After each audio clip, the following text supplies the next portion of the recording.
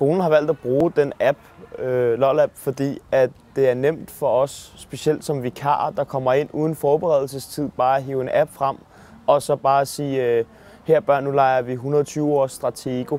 Og de fleste af børnene, de kender mange af lejene i forvejen, så derfor så er det nemt både for vikarerne og for børnene, der er noget, sådan, de kender. Jeg tror, min skole har valgt at bruge LOL-app, fordi at det er en ny måde at arbejde med idræt og bevægelse ind i klasseundervisningen, hvor det er let tilgængeligt for, for lærere og pædagoger.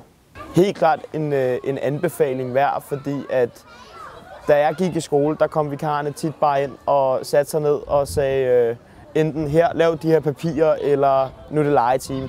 Det her det giver en mulighed for at lave differentieret undervisning, selv for en vikar. Jeg vil sige, det er et rigtig godt break at, at lave den her, de her lege med dem. Det, det giver noget rigtig positivt, fordi at, at det kan være langt øh, i løbet af dagen at skulle sidde og modtage undervisning.